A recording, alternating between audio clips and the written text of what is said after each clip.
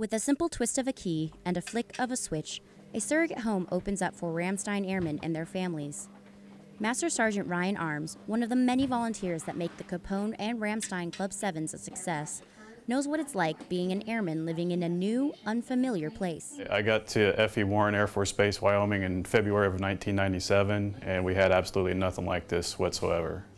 Club 7 caters directly to the airmen, continuously asking for feedback and suggestions. The result? A relaxed atmosphere for airmen to feel right at home in. Oh, they, they love it. I mean, whether they say it or not, I can see it on their faces when they leave after having watched a good movie or had a good meal. Uh, sometimes I get people that just walk off the street and want, want to see what Club 7 is all about, and they're just amazed that, that, that we have something like that for people uh, on base. Master Sergeant Arms plans to continue working with Club 7 to ensure airmen always have a welcoming place to go.